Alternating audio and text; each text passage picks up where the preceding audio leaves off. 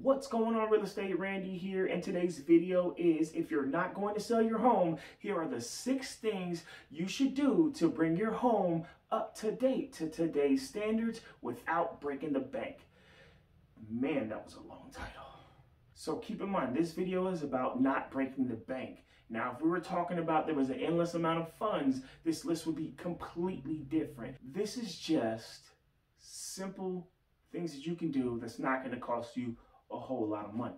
Now, if that sounds good, please don't forget to like, share, comment, and subscribe to the channel.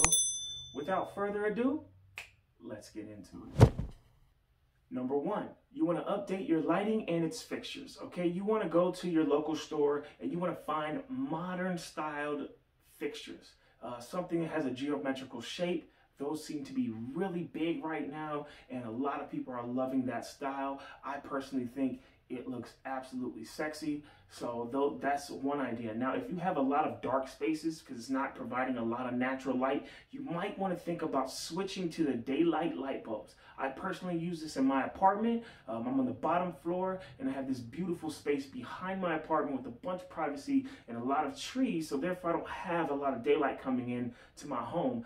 I love the bright, airy, open feel of sunlight coming in. So I switched to the daylight uh, light bulbs and it has changed the feeling of the rooms tremendously. So think about that as well.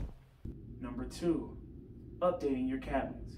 Now, instead of replacing them and spending $15,000, you can easily just paint over your cabinets, okay?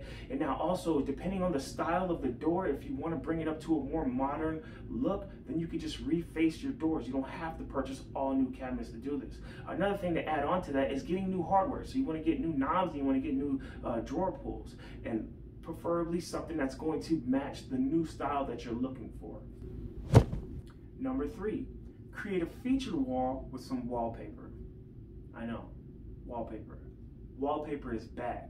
And I'm not talking about your grandma's wallpaper, okay? What I'm talking about is this new modern designed wallpaper. The great thing about wallpaper, and I feel like I'm saying wallpaper a lot, but I really want to stress that this, it, it's really a good look. Not only can it add a sleek, sexy, modern design to your living space, it also can provide you with some texture and depth. They have wallpaper now that literally looks like brick. So it can it gives you that texture that you're looking for and you're not gonna break the bank. And don't be afraid to incorporate the wallpaper on some of the furniture. Okay, so like in your kid's space, you can get like a fun type of wallpaper on one wall. You can use that same wallpaper on their dresser drawers which brings a continuity to their room. And then in any kind of living space, if you have like a bookshelf or anything shelving that's open with a back, you can actually put some of that wallpaper on the backs, the backing of the shelves, which provides that same continuity and just brings the whole room together. Number four, replace your kitchen and bathroom faucets. Look, get rid of that builder grade faucets or the stuff from the 1990s, whatever it is. It's ugly and it looks dated. Faucets are relatively inexpensive compared to other upgrades you could do in your bathroom.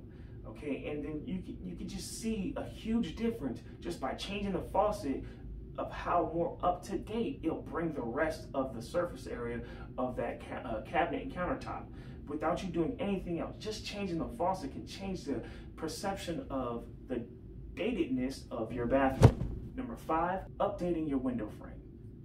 What are you talking about, Randy?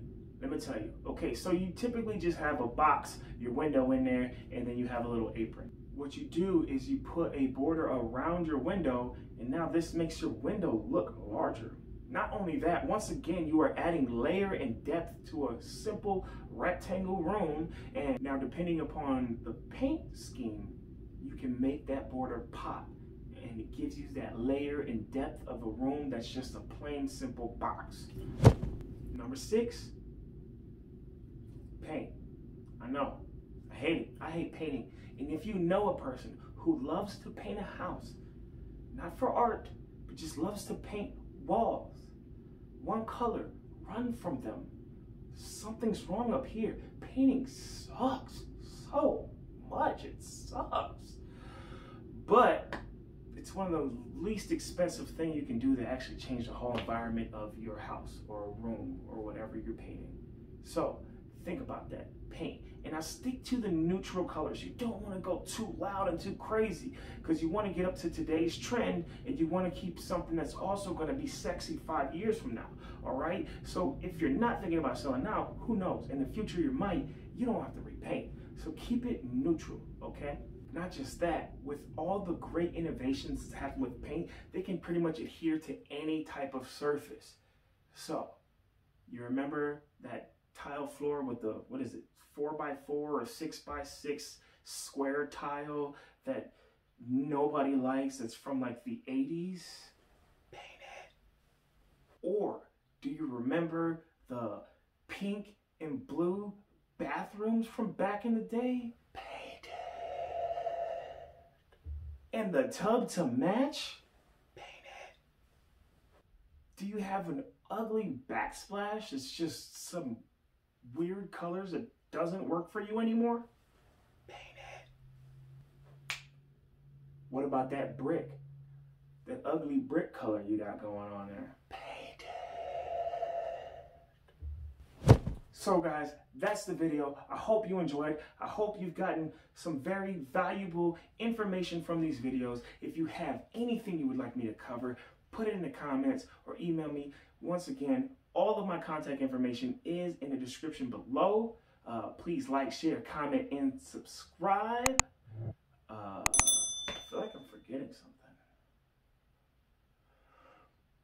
I don't know. With that being said, I hope you have a great day. Always remember, stay safe.